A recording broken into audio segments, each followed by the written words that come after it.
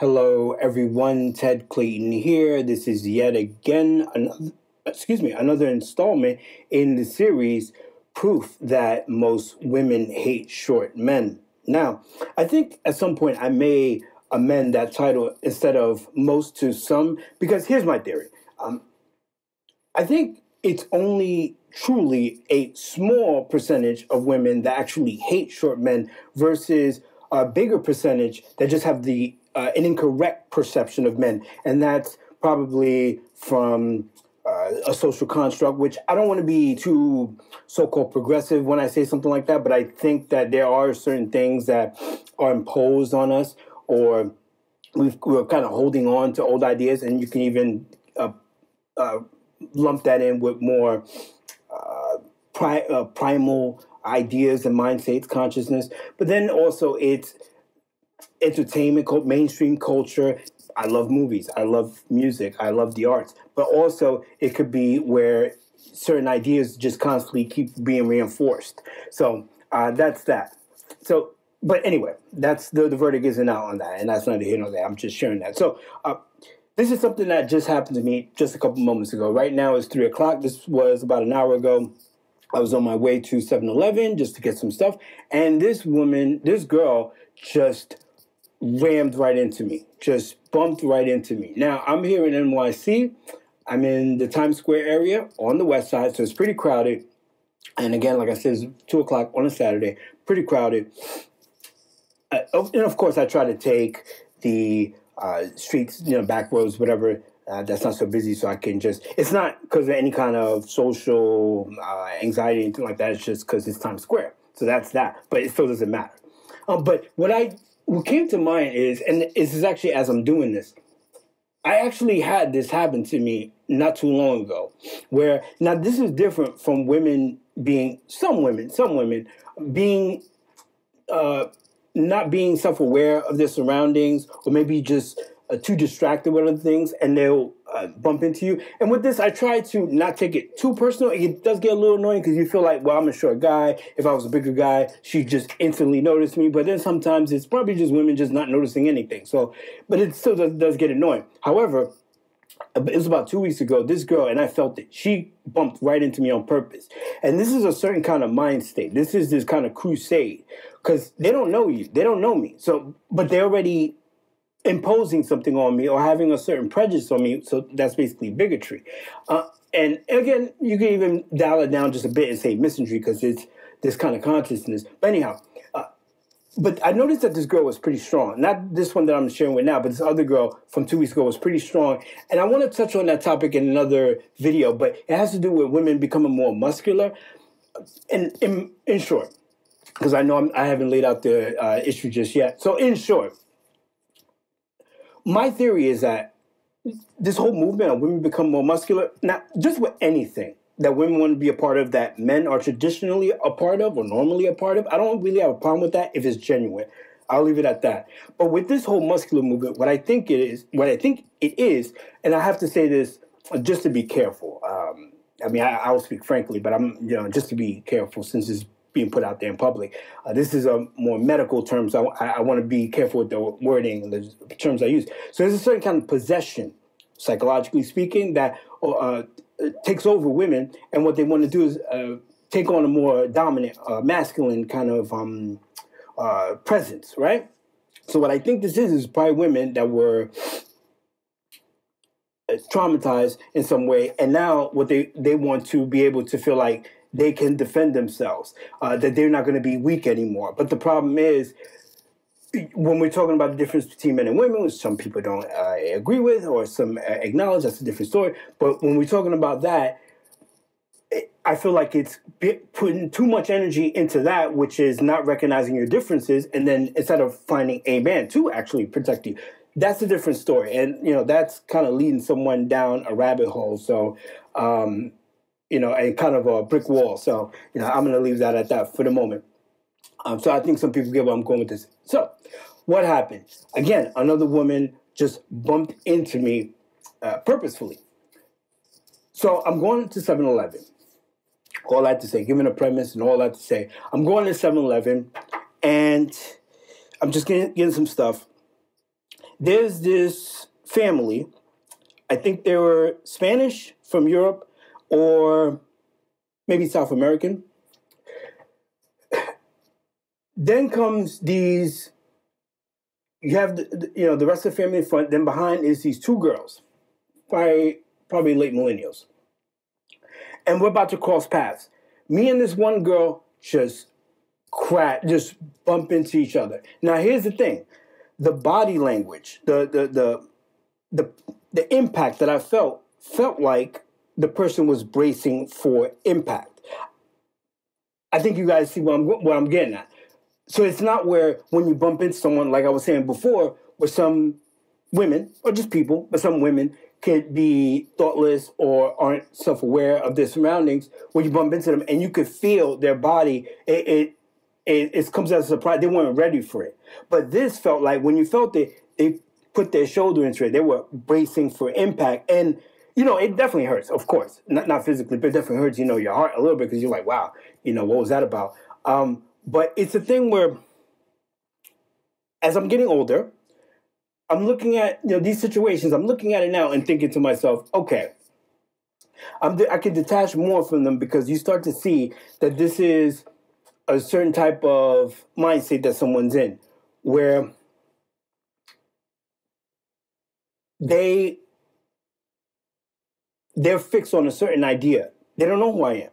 And moreover, they don't know my intent. I was actually trying to be, you know, again, this is crowded, it's New York City. So I'm being uh I'm showing etiquette.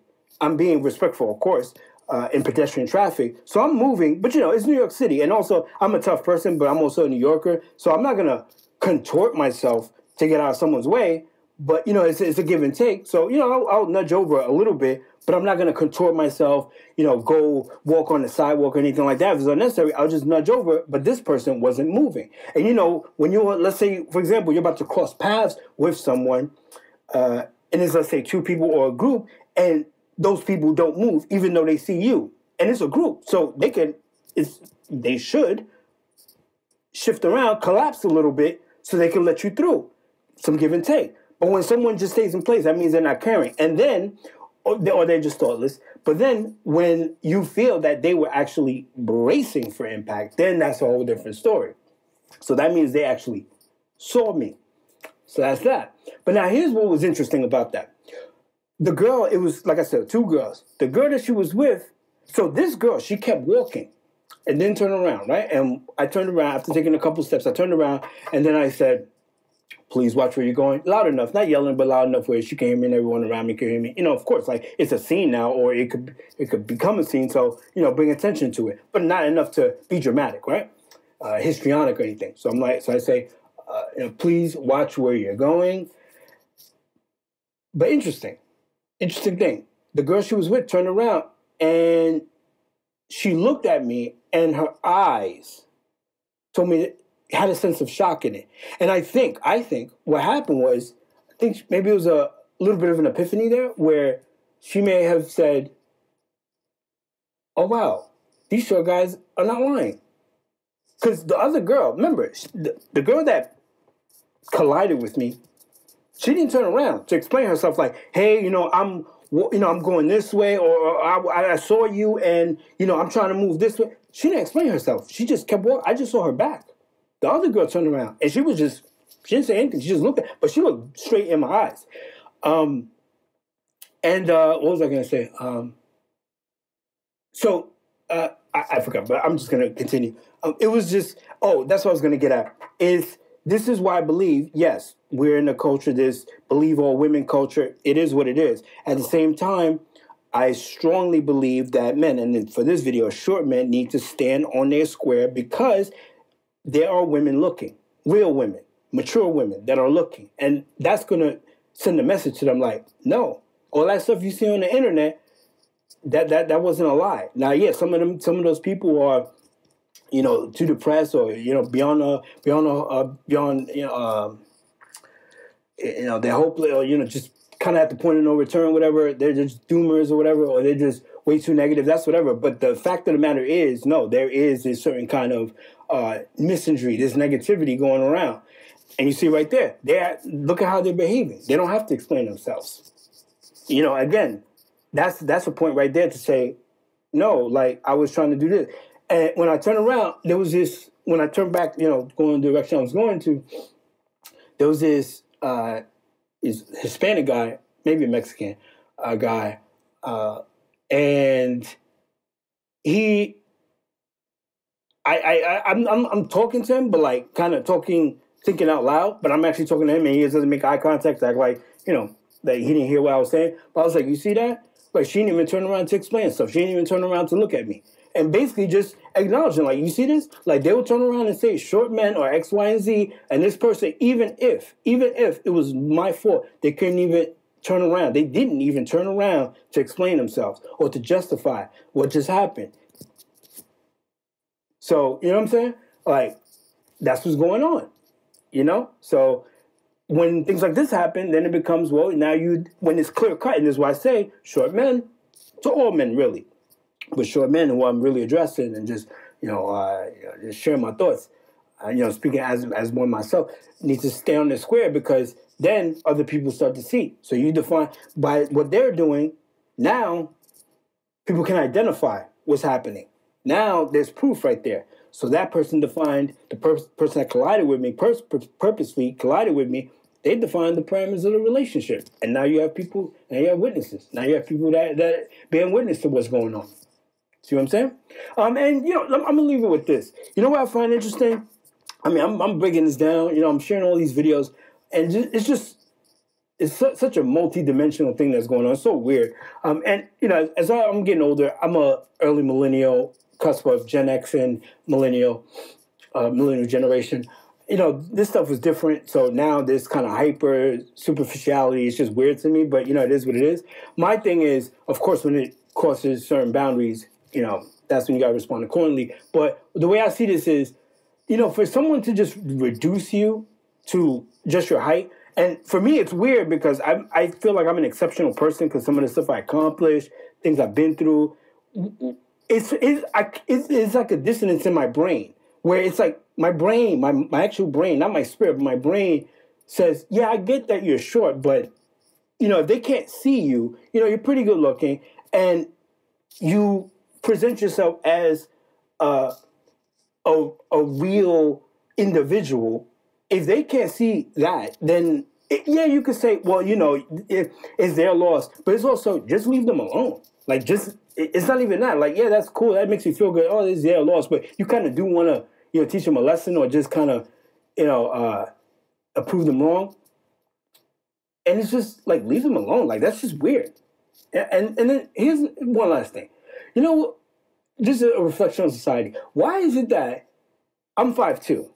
Why is it that a a man who's five two is labeled as a midget, right? Even dwarf. And, and some will even go as far as to try to uh, make the correlation medically, which I, I, have another video about. I'll put the link in the description. Is where AMS was talking with this midget and was talking literal midget and was saying that short men. He the video said short men have a chance too. They could play too, which I debunked that whole thing, uh, uh, break down that whole thing, just tear it apart. But it's a short man would be a midget, but then a woman would be the same height or even shorter is a spinner. No one looks at them differently. We'll be the same exact height. Shoot, spinners are they're highly sought after in the adult industry, in uh, just in real life, or in, in escort services. So the problem is in height. Well, uh, I'm going to leave it right there. Uh, that's all for now. I'm going to enjoy the rest of my Saturday.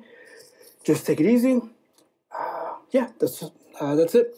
Thanks for listening. Enjoy the rest of your day.